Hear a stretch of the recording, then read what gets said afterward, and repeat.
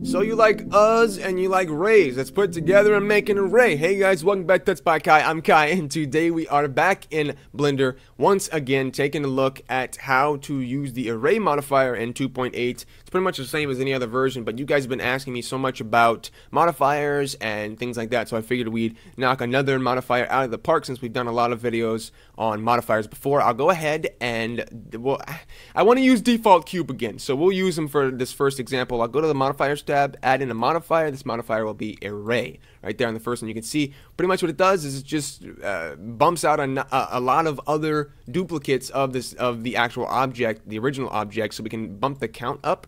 You see we can get extremely long or extremely short. The cool thing is that we can change uh, the direction by using this relative offset. You'll put a 1 there, and we can go diagonally, which is pretty cool. Um, we can get rid of this first 1 to make it go that way.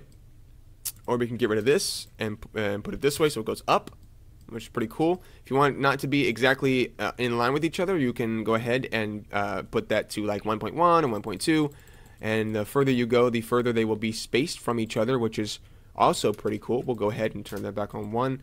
Um, and uh, it looks pretty good like that. The constant offset is pretty much the same thing as relative, but it's by meters, and it does this really weird thing like this. So instead of duplicating, pretty much what the difference is, relative duplicates the cube and then moves it an exact distance, if that makes sense.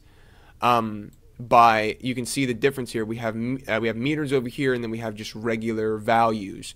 The constant will be the same no matter where you are. Obviously, constant. The constant will be exactly the same no matter where you are. So we can do two meters uh, and two meters, uh, and two meters, and then two meters. So now we have a perfect staircase of um, of of cubes here. When if I were to do two on this side, if I were to do two here and two here, you can see the difference because this is going by uh, this is going by grid values and not and not meter values. You see the difference there. So that's that's a pretty easy way to uh, explain that right there. So um, if we wanted to get the same effect with the relative, we would just do 1, 1 instead of 2 by 2. So that's the way we do that right there. If we want to go ahead and merge, we can merge all of these at first and then use the distance value, uh, which, which we don't really need to play with. So we can go ahead and hit apply, and you can see all of these are, if I were to move them, they're all merged together. Because if we were to undo that, once again, if I, if I weren't, weren't to hit merge and go into edit mode, and, and merge this, no, merge this, and then go into edit mode, you can see that each one is not merged, the vertices are not merged together, so they're all individual cubes still. But if we hit that merge feature, they all are connected. So that's the difference. That's what we got right there. Um, this is a really easy way of duplicating a uh, a, a, really cool um, hallway or a thing that you need to be over and over and over and over again. For instance, if you were doing some kind of uh, uh, infinite infinite floor or something, this would be a really cool way to do that. Really easy way to do that. You could do that with floorboards, with anything. I'm gonna go ahead and grab a, a torus here, and we'll turn the shading to smooth. Object shade smooth. We'll add this modifier, uh, array modifier, and you can see we have these rings now, which looks pretty cool. If we were to rotate this, um, you can see we have some really cool stuff uh, like that. So I want to go ahead and actually let's undo that. Let's rotate it back. Um, I want to duplicate this a couple of times, but I want them to go upwards. So negative 1 uh, because it's flipped upside down now. Uh, actually, let me flip it the right way.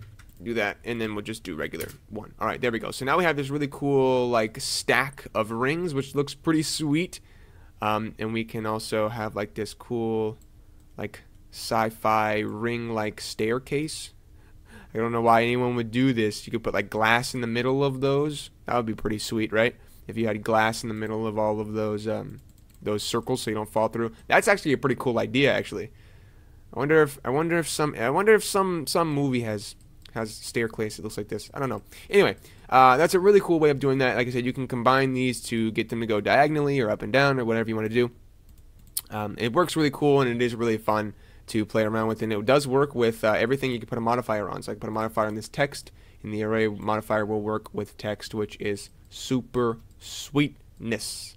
So that is that. I hope you guys enjoyed this to Ooh, that's so weird tutorial.